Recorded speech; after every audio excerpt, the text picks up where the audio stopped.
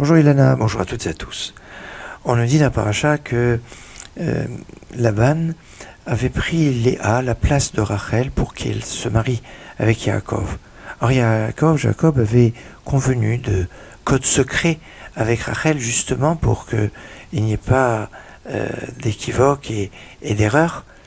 Et Rachel a transmis à Léa, voyant qu'elle pourrait être euh, humiliée, elle lui a transmis les secrets qu'il y avait entre elle et Yaakov pour que sa sœur puisse délivrer les secrets et ne pas être humiliée. Il y a ici une leçon très intéressante sur le respect des personnes et ne pas entraîner une humiliation. On rend compte que à Jérusalem, le, euh, prédicateur était un prédicateur qui était extraordinaire. On venait l'écouter le Shabbat faire sa dracha, euh, qui faisait euh, euh, dans l'après-midi. Euh, mais euh, il arrivait des fois que euh, son discours soit long, et c'est pour ça que la plupart des personnes avaient l'habitude de faire la prière de Mincha, la prière de l'après-midi, avant la dracha, parce qu'il pouvait terminer après le coucher du soleil. Il est arrivé que euh, le Rav Berel Kreuzer euh, n'avait pas, connaissait pas un petit peu les habitudes, et comme certaines personnes, il était rentré au, au, cours euh, du guide du prédicateur de Jérusalem, euh, sans faire mincha avant. Mais voyant que le jour était sur le point de, décliner qu'il y avoir le, coucher du soleil, il était, euh, il savait pas quoi faire. Sortir au milieu, ne pas sortir, mais prier, rater la prière de mincha. Finalement, il a pris la décision de d'essayer très discrètement de partir, de sortir euh, euh, délicatement. Le lendemain, il rencontre le Chazonish, ce grand maître, euh, et lui dit comment il aurait dû faire. Le Chazonish a dit Je ne comprends pas la question. Où est la question? Était sûr qu'il était interdit de sortir au milieu euh, du cours euh, du prédicateur, parce que sortir au milieu, c'est un peu comme l'humilier, le faire blêmir en public. c'est un, un, manque de respect à un sage.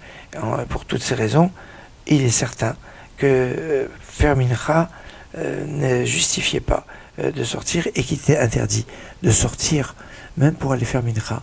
On voit ici l'importance du respect de la personne, le respect euh, de ne pas sortir en discours du rabbin, c'est pas, c'est pas, ça se fait pas, et, et encore moins en plein milieu.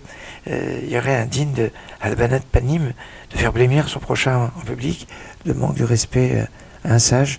Tout cela donne à réfléchir. Excellente journée.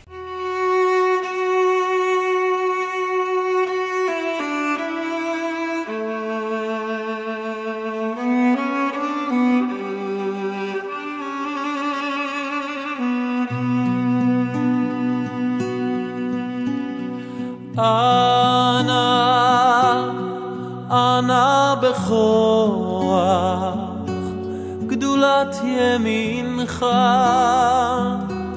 תתרצה רוח,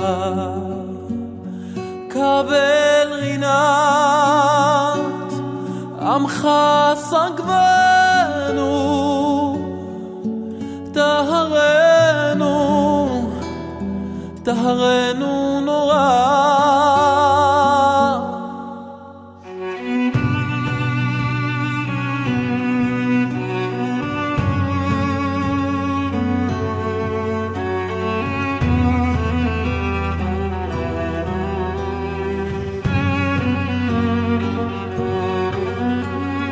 אנא,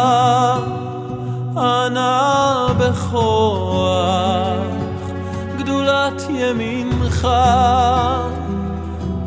תתרצה רוח, קבל רינת, עמך סגבנו, טהרנו, טהרנו